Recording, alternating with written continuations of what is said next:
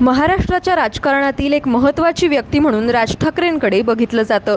सत्ता नसली काय किंवा निवडणुकीत पुरेसं यश मिळत नसलं तरीही राज्याच्या राजकारणात त्यांची भूमिका महत्त्वाची राहिली आहे.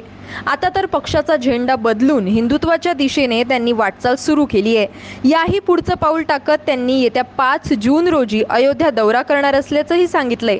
त्याच दृष्टीनं त्यांनी तयारी देखील सुरू केली आहे.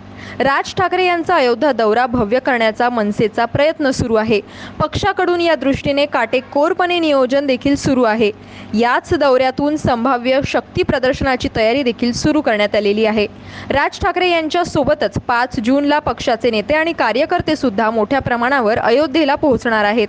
महाराष्ट्रातून चाळीस हजारपेक्षा जास्त नागरिक राज ठाकरे यांच्या अयोध्या दौऱ्यासाठी जाणार असून यासाठी रेल्वे राज्यमंत्री रावसाहेब दानवे यांच्याकडे बारा ट्रेनची मागणी केल्याचं मनसे नेत्यांनी सांगितलंय.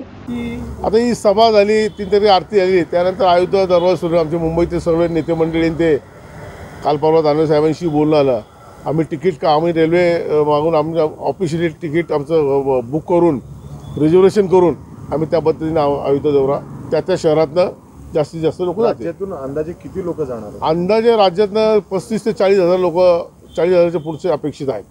त्या ठिकाणी आता ट्रेनची मागणी आम्ही केलेली आहे. बारा ट्रेनची मागणी केलेली आहे. आता किती ट्रेन देतात त्याच्यावर डिपेंड आहेत काही लोक फ्लाईटने जातील काही लोक बाय रोड जातील काही लोक असे बरेच लोक जातील. पण अयोध्या दौऱ्याला फक्त मनसैनिकच येईल असं नाही आहे जे जे हिंदुत्ववादी संघटना आहेत जे जे करणार रामांना मानणारे आहेत आणि जे जे आहेत त्यांना यायचे ते सगळेच येणार आहेत.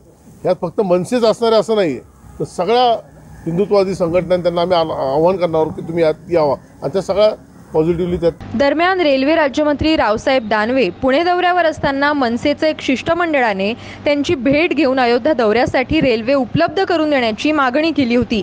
त्यानंतर बोलताना दानवे काय म्हणाले पाहुयात. अरे रेल्वे तुम्हाला सुद्धा देऊ शकतो मी. जो कोणी रेल्वेला भाडं देईल आणि रेल्वे मागीन त्याला सगळ्यांना रेल्वे आम्ही देऊ शकतो. आम्हाला काय अडचण आहे? अहो त्यांनी देशाच्या सीमा अंतर्गत कोणालाही तुम्हाला कुठं जायचं असेल तर रेल्वे उपलब्ध करून देणं आणि योग्य ते भाडं घेणं ही आमची जबाबदारी आहे. संसदीय राजकारणात फार ताकद नसलेला हा पक्ष केवळ राज ठाकरे यांच्या करिश्मामुळेच अजूनही टिकून असून सतत या पक्षाची चर्चा होत असते.